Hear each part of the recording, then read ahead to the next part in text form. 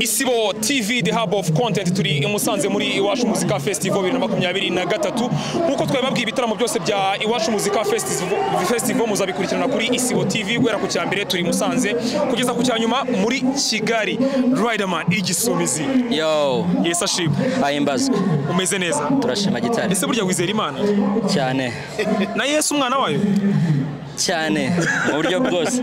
Turashima imana kandi natwe turi mu byiringiro by'uko natwende dushimamo gake. Ni sawa cyane.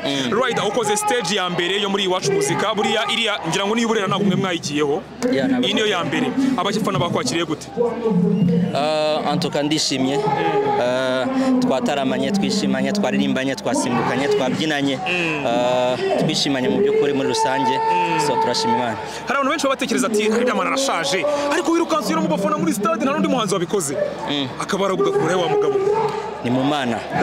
Ah, muri bibiliya hari ijambo rivuga ngo ushobozwa byose n'uwiteka. So natwe niko tubibirivinga. Uwiteka ni we udushoboza.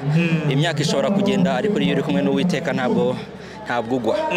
Ngira ngo muribuka musa ubwo yambutsaga abanyayisiraheli ah, abambutsa muri egiputa. Abaganisha mu gihugu cyabo cy'isezerano. Hari aho byageze ukuboko kukajya kugwa. Ariko bakamufasha bakazamura. So twari turi kumwe n'imana ariko twari kumwe- twari turi kumwe n'abangaba nk'uko na Musa yagendanaga n'abo bantu bakamufasha ukuboko. Iyo ufite aba- abafana nk'abangaba bakuri hafi ah, bagufasha kuririmba bagufasha gusimbuka ni nk'aba bandi bafashaga Musa kuzamura ya nkoni kugira ngo adatsindwa. Harya ubwo ni umwaka wa kangahe? Uyu natangiye muri bibiri na gatandatu so mukora imibare. Rider ni igitaramo cya mbere kibaye. Ni igitaramo cya mbere imibare kibaye. ikunanira cyane. Ni igitaramo cya mbere kibaye nta nzoga zirimo nta bisindisha birimo. Wabonye hari ikintu byangije kuri vibe abantu bari bafite?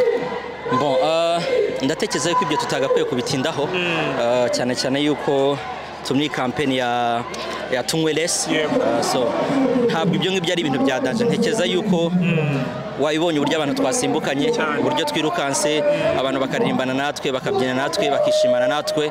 Uh, kandi nta kintu banyweye so umuziki ntabwo ari itegeko yuko umuntu awu- awubyina cyangwa se awinjoyinga ari uko yanyweye ngira ngo n'urubyiruko rudukurikiye rukwiye kubyumva. Ntabwo ari ngombwa yuko ufata uh, ibisindisha cyangwa se ikiyobyabwenge icyo ari cyo cyose kugira ngo wishime. Ni sawa cyane. Turi kandi muri kampeni ya rbc yo kurwanya sida. Abajene benshi bariraye bibwira yuko sida yashize. Ndetse benshi bakanavuga bati ubu ngubu noneho yarayungurutse ubu ntabwo ikica. Niki wabwira abajene aka kanya? Wari wa- wari wakoresha agakingirizo?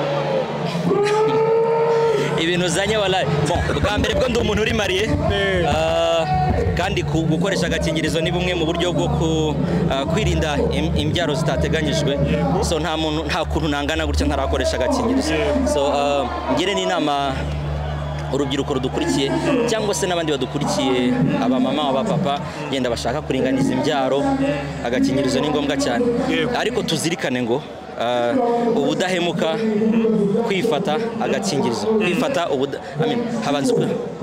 ubudahemuka eh? habanza ubudahemuka Ah, habanza ubudahemuka. Ubudahemuka kwifata agakingirizo. Izo ni ingamba z'abantu bose muri rusange. Yaba uri umujene yaba uri umujene yaba uri umuntu uri mariye ubudahemuka kwifata agakingirizo. Yego hari abajene benshi batinya kujya kugura agakingirizo muri botike avuga ati nimba niba wumva ndi kuvuga ati mume polidanse mume kondomu mume ibiki byose bigiye bitandukanye. Ni iki kintu wababwira? Bon, bwa mbere bwo nababwira ngo ah, kwirinda birusha kwivuza ah, bityo ntabwo wagakwiye kugira ah, isoni zo kwirinda. Kubera yuko igihe noneho uzajya kwivuza nta garuriro riba rigihari biba byarangiye. So mu gihe mu gihe cyo kwirinda ukwiye kwirinda mbere y'ibindi byose. So ntugagire isoni zo kugura agakingirizo. Ni nk'uko wajya kugura gant cyangwa se nk'uko twaguraga sanitizer mu gihe cya covid. Yego. ni ibintu bisanzwe.